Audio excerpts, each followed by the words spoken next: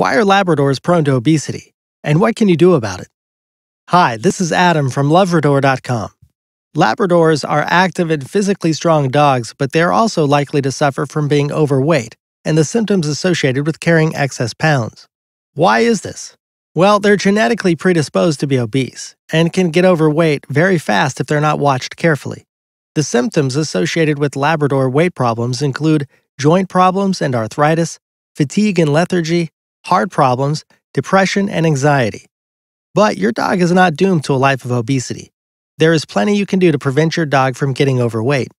Here are a few simple tips for keeping your pet healthy and happy for years to come. Make sure that they get plenty of exercise and outdoor play. Socialize them with other dogs to encourage play. But because they're known to be incredibly active and do not know their own limits, be sure to keep them hydrated. Feed them a nutritious dog food and follow the label's portion suggestions. It is easy to overfeed labs. Obesity and health issues can also be mental. If they are showing signs of depression or anxiety, which may be causing them to be less active, take the time to get them out of their funk. You may need to see a vet for advice on this.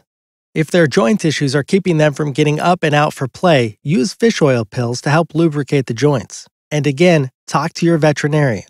And last but certainly not least, never feed your dog table scraps. Though labs can become obese, there is no reason at all that they must. It is all about setting up a lifestyle for your dog that encourages activity and healthy diet. If you're interested in learning more about Labrador exercise and diet, subscribe to the YouTube channel and check out loverador.com.